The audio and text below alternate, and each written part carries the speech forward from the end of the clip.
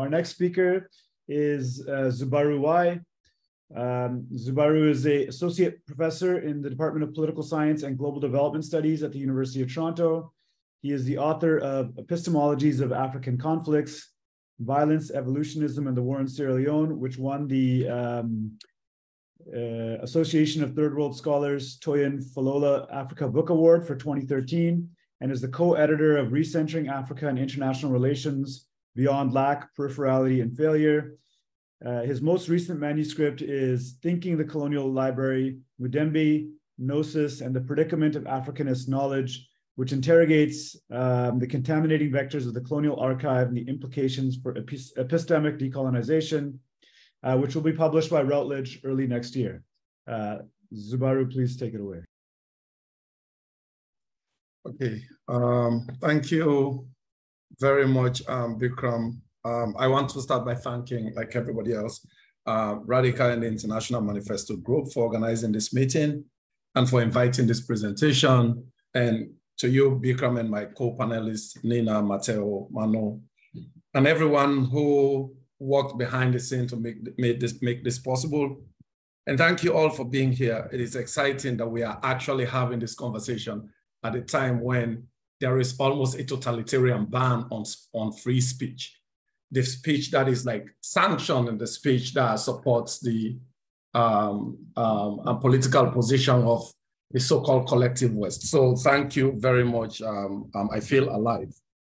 What I wanted to do, I, I titled this presentation, What was the Sign of Libya?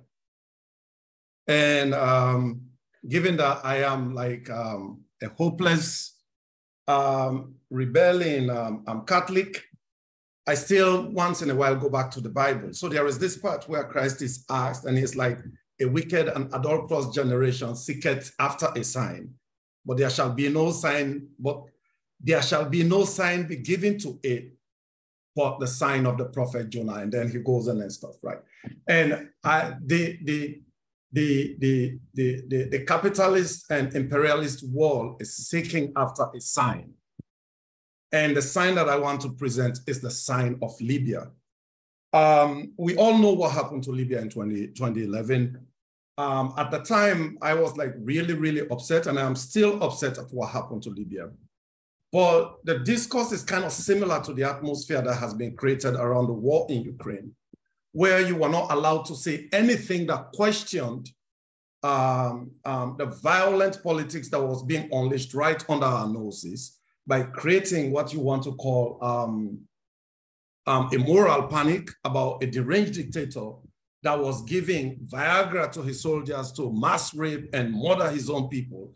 Everything that we have now we have now come to see uh, to be lies and falsehoods, but but this was what was happening, and nobody, many academics, even those on the left, could not touch Libya.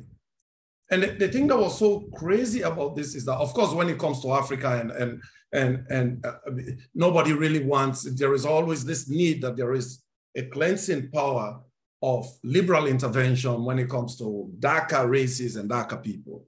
So going to Libya to free the Libyans from this deranged dictator was one that was even, like I was at York University at the time doing my PhD, and Bikram was there. Respected Marxist scholars were supporting the NATO lie that they needed to go to Libya and destroy Libya. So I am still, so Libya was destroyed. And, and I was one of the few people um, that actually wrote on Libya and, and, and said, but this represents a very violent intrusion um, and almost the perfection of imperialistic violence and militarization. So this is the way in which I looked at it. But actually, even myself did not consider the full implication of what Libya means to what we want to call world order. So in this presentation, I want to return to Libya. And what I want to do is I want to start by saying Lib Libya actually, the sign of Libya is that um, Libya is a, is, is a parallax. On the one hand, it is a sign of the spatial military logics of, of the liberal imperium, its oppressive powers, its totalitarian drive um, for world domination. So we've been talking about fascism, but the, the, the, the, the issue of totalitarianism is not even just in a particular system of governance in the West. The entire Western imperial system is totalitarian. Um, and, and Libya, of course, um, um, um, really makes that very evident. And the second thing is that uh, Libya also represents the militarization of, of, of global politics, the banalization of war, the routinization of intervention to advance and maintain the power of this totalitarian system that I'm describing. So on the one hand, Libya is a sign for the logics, the militaristic and imperialistic and totalitarian logics of our time. What happened to Libya?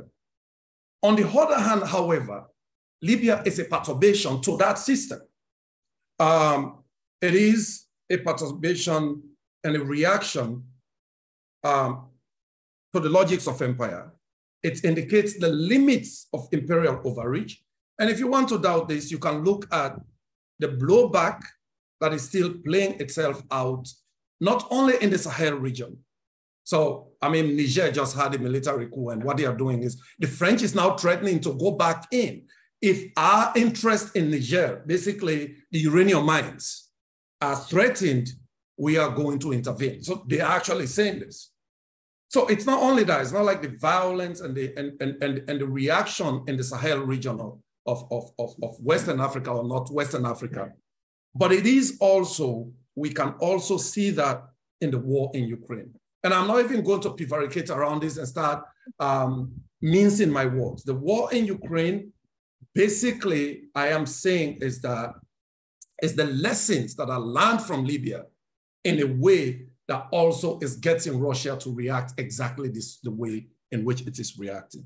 So um, what it signals then, and we are in this moment where we are talking about hegemonic or, or, or the, the, the, transformation of world order. World order is in flux. The, the liberal um, unipolar order that came into being, you could say, if you go with Fukuyama, it's 89. If you go uh, with um, um, George Bush Sr., the first president, it, it, was after the Gulf War when he was trying to put in the new uh, um, world order. So you could say from 1989, 1990 to 2002, or again, there you could say um, 2014 with the Maidan revolution or the Maidan coup in, in, in Ukraine, or Russia's military action in Ukraine in 2022.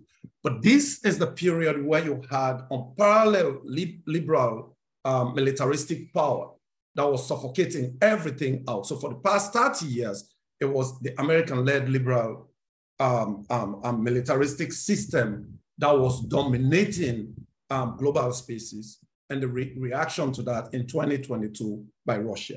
Okay, so what I basically, in the paper that I, the paper that I published in 2014, I had attempted to consider the implications of Libya, not only for hegemonic rearticulation, because the argument that I was making was that Libya actually provided an opportunity for the West that was suffering a crisis of hegemony in the Middle East to be able to rearticulate itself as the defenders of democracy. So a moment of hegemonic unraveling also became a moment of hegemonic rearticulation. So that was the part of the argument that I has made and I had made, and also made the point that Africa was central to this notion of world order and the projection of Western, Western power. And the conclusion of that paper was like, and I wrote at the time is that as the liberal world order attempts to monopolize the global sphere and concentrate power in a technological machinery of violence and domination, and as it suffocates life through a totalitarian order that frowns on alternative modes of life, ways of being, forms of thought, and forms of knowing, and as it entrenches itself and attempts to concentrate its authority in a singular imperial network of power dominated by the United States, it also becomes vulnerable to its own violent and destructive uh, inclinations. I wrote this not realizing the full implication of what it meant. And if you are wondering what the implication of that is, Ukraine is the implication. We are now talking about the end of the unipolar moment. even realists are now saying we're in a place where now we have like a multipolar world order. At least there are three dominant powers, Russia, China, and the United States. So, and, and part of the reason why I was saying that um, the, the, the liberal world order, the American system, was undoing itself was because every machinery of domination, um, Baudrillard tells us, always also secretes the counter apparatus and agents of its own destruction. There can never be an imperialism without an anti-imperialism. That's, that's really the point that I'm making. There, there can never be a dominant power that does not also have opposition to, to, to its logics. So even, and, and Radhika is right, they're saying that even when the US tried to say we are hegemonic, we are dominant, you could only be dominant insofar as um, um, you try to, to like snuff out alternatives, but there are always forces that are articulating themselves in opposition to that domination. So, and for us to be able to understand then how um, Libya is central to the moment that we are in, maybe we have to, to actually take a longer history of view. I'm sorry, a longer view of history. The United States have always tried to be the dominant power in the world, at least post nine, sorry, post the Second World War. Sorry, Bikram, how many more times? Oh, okay, right. And so um, at the end of the Second World War, normally, like when I was in school, for instance, we were taught that um, oh, part of the reason why the anti-colonial struggles um, um, succeeded was because there were new powers. The Soviet Union, but also the United States was against empire. Actually, that's a lie, right? Because what the United States was trying to do is that the old imperial order that was based on Europe, it's like, well, we are now the new ones. And for them to be able to create this larger imperial order, they didn't need um, colonialism in the old sense of the word, where you actually occupy territory.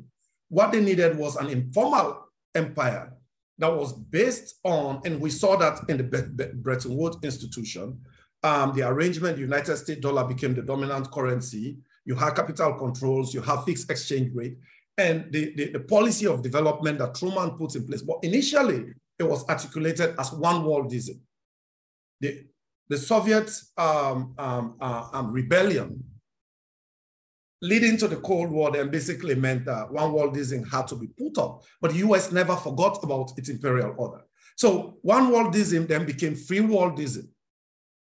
And so in the 90s, with the end of the Cold War, that the US idea of always being the dominant power was now realized with the end of the Cold War. And then 9-11 happened. So initially they were trying to like really go about it um, in a very violent way, but in a nice way in which they will say, oh, we are just promoting democracy and this. And then 9-11 happened. And it revealed, the, the title of that paper that I wrote actually is The Empire's New Clothes, which is like playing on the emperor's new clothes to say there is naked violence that is embedded in the system that is being dressed up as, uh, as, as, as liberal um, and concerned for freedom and human rights and all of it. Right. And so from this, in the Second World War, sorry, from the end of the Second World War up to the 1990s, the Cold War was on, the Americans were unable to really realize their informal empire, even though they were racking up violence, targeting communism, um, alternative forms of, of, of, socialist organizing and nationalist ideas. All of this, I mean, Africa has the scar of this. Angola, South Africa, Namibia, um, Algeria, you, you, you, you, you name it. And then the Cold War ended, and Bush was like, okay, one worldism now could be realized in the new international order. Okay, and so with the end of that, um, with the, sorry, with, with 9-11, when the Americans have become so violent and reaction in the Middle East through the so-called um, Arab Spring, there was the crisis, and that crisis had to be mediated. And the only way to mediate that crisis was to go after Libya. But the argument that I'm making then is that going after Libya also actually sowed the seed for the destruction of this movement because Putin was not president of Russia at the time.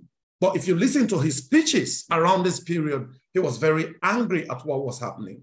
The Chinese, their embassy had been bombed already in Yugoslavia in 99 and then Libya, and they were lied to at the United Nations. So when the same thing repeated itself in, in Ukraine, basically it got to the point what the Russians were doing, we need to rebuild our productive forces. That's why everybody was like, why didn't you intervene in 2014? Because if they did, the economy would have been destroyed. But between 2014 and 2022, they were actually able to extricate themselves in a little.